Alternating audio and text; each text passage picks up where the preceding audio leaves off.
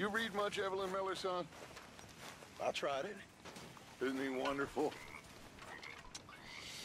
He doesn't say much to me. Doesn't say much.